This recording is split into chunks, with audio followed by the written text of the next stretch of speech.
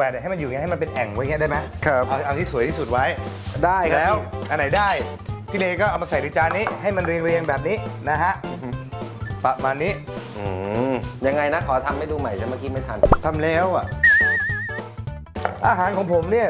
ตอนทำเนี่ยไม่ค่อยจะดูน่ากินเท่าไหร่ ตอนกินเนี่ยต้องบอกเลยว่าว่า ไม่ผมให้พี่เลคุณตอบพี่อย่างไงเงียบไปอย่างนั้นสิเฮ้ยผมให้คุณพี่เลตอบเงียบไปอย่างนั้นแล้วมันก็เสียวนะๆอย่าน้อยนะสิอย่าน้อยสิเพื่อนอืมมันน้อยนี่ครับนี่ค่ะปวดที่ไหนเราก็ทานกันเอง ถึงแม้ว่ามันจะเป็นรายการโทรทัศน์รายการทีวี ก็ตามเราก็ไม่เน้นสวยเราเน้นรสชาติ ถ้าอยากรู้ว่ามันอร่อยขนาดไหนก็